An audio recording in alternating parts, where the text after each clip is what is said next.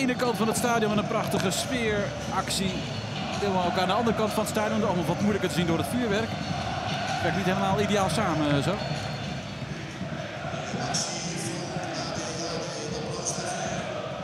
Maar weer eh, prachtig gedaan door de supporters. Veel tijd in gestopt. En dat is te zien.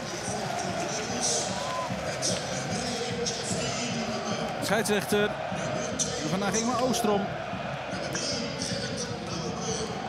Bij Go Ahead Eagles. Het goede nieuws is Willemson die dus weer terug is.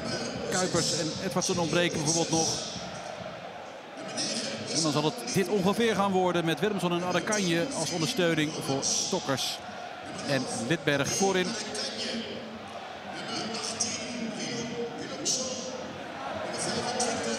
En bij afwezigheid van Pruppen.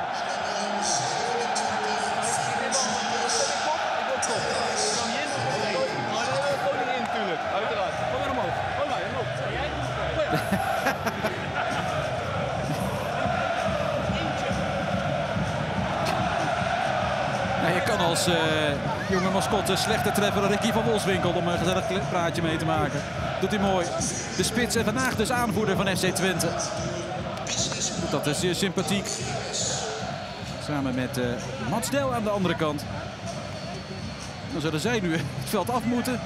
Het is jong bij Twente vandaag. Eh, 21. Niet alleen het rugnummer van Keulo. Het is eh, de leeftijd van alle middenvelders vandaag bij Twente. Bij afwezigheid van bijvoorbeeld Sadelijk en Zerouki spelen dus op dat middenveld. Saladin, Stijn en Keulo, allemaal 21 jaar. Er is toch wel wat routine met Van Wolfswinkel. Maar goed, dan ontbreekt dus ook nog eens een keer Prupper achterin. Waardoor de jonge Max Bruns daar komt te staan. Het is een stuk jonger vandaag bij Twente dan we gewend zijn. En dan ook nog eens een keer een uitwedstrijd.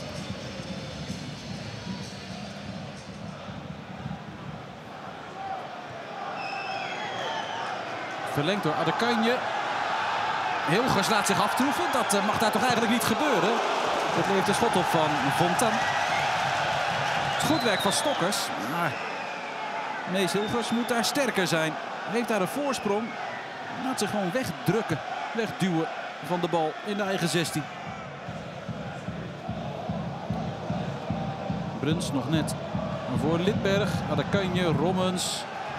Stokkers, Fontan mee. Heeft de plek van Oppegaard als linksback. Lekkere bal dit voor Lidberg en hij valt erin.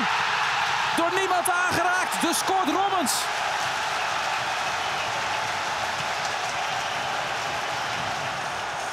Een heerlijk aangesneden voorzet. Maar ja, soms is een voorzet uiteindelijk een doelpunt. Stokkers moet even terug. Rommens, de bal, die ziet Lidberg. Maar ja, die mist de bal. En dan kan Oenestal eigenlijk ook niet meer reageren. Omdat hij natuurlijk ook rekening moet houden met het feit dat Lidberg die bal nog kan raken. Czerny. Stijn.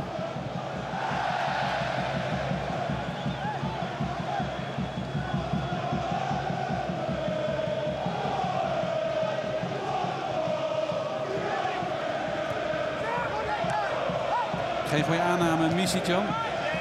Itzes doet dat goed. Willemson op Stokkers.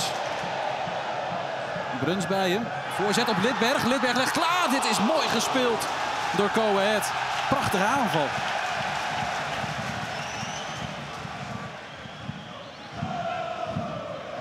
Smal.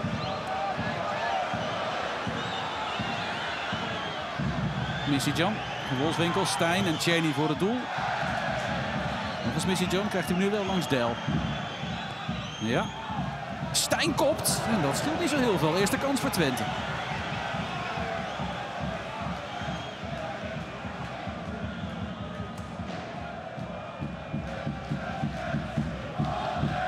Czerny. Hilger stond daar nog. Voorzet van Brenet komt wellicht bij Missy John. Net daarvoor weggekopt door Del. Zo. Smal. Je kan het een hele strakke voorzet op het hoofd van, uh, van Wolfswinkel uh, noemen. Maar ik begrijp van Wolfswinkel wel dat hij daar niet voor wilde bukken. Hij had vooral het probleem. Maar goed, ziet hem aankomen. Niks aan de hand.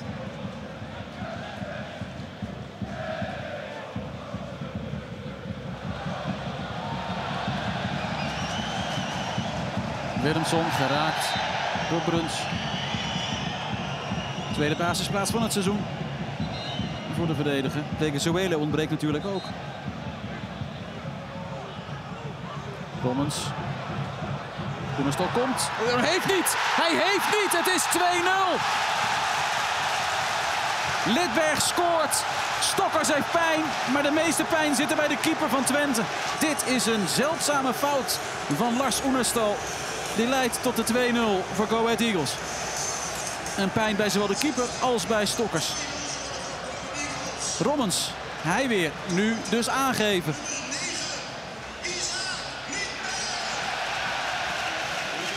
En Oenestal heeft alleen Stokkers, heeft de bal niet. Die heeft Lidberg.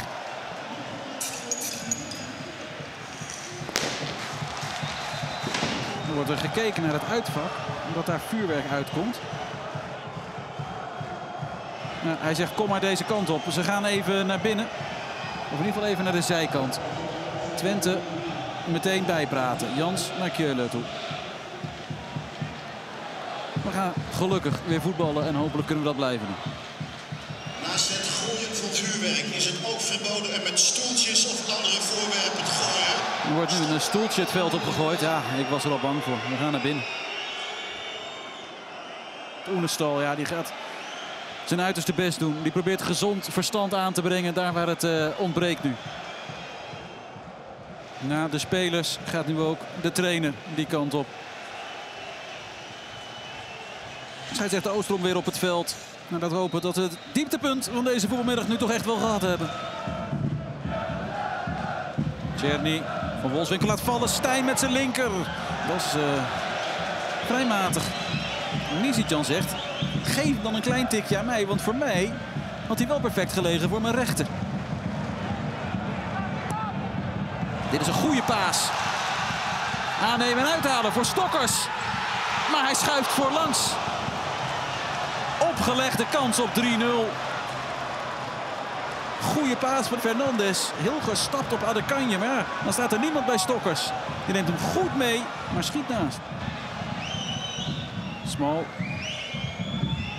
Van Wolfswinkel door dat die bal eigenlijk iets te hoog was. Dus speculeerde hij al op het doorschieten. Snel gooien en dan kan Tjerny wellicht nog wat doen. Tjerny in de redding van de Lange.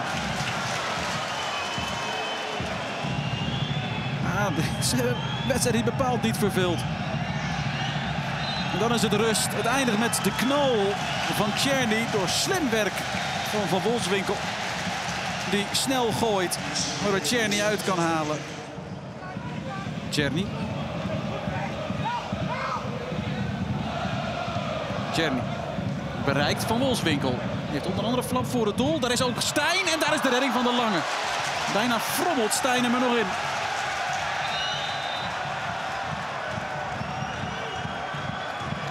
De voorzet die wordt aangeraakt. Ja, hoe die het doet. Je krijgt hem er bijna in ieder geval, Stijn. En de frustratie dat het niet lukt is duidelijk zichtbaar.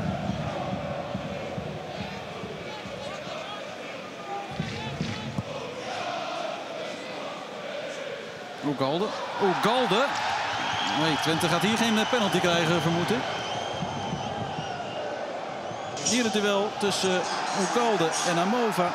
Maar hij kan niet meer terug, omdat Amova daar loopt. Czerny.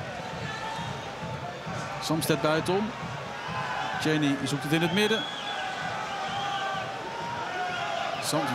Deze paas is gewoon te hard. En dan is hij over de achterlijn geweest. Het is zo veelzeggend, deze paas van Czerny. Het is een hele makkelijke bal. En er komt geen kans uit omdat die paas verkeerd is. Fernandes, Samsted in zijn eentje. Lost hij dat op? Het antwoord is voorlopig niet. Het is dan een corner.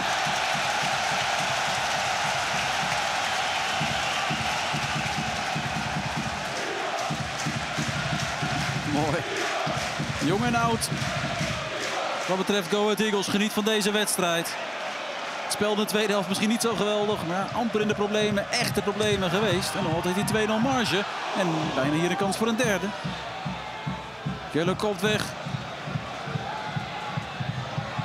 Fernandes.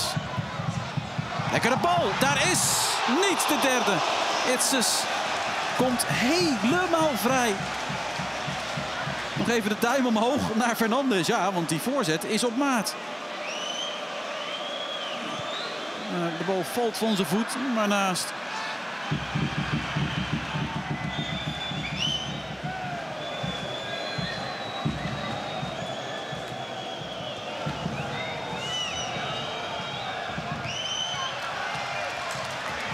Czerny kan er net niet bij. Verenigd er opperkaart.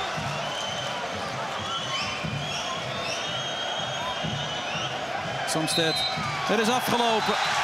Go Ahead wint met 2-0 van Twente. Op basis van een hele goede eerste helft. Met Rommels als een van de uitblinkers. Hij met een doelpunt en een assist. Ook Lidberg. Hij scoorde en speelde sterk.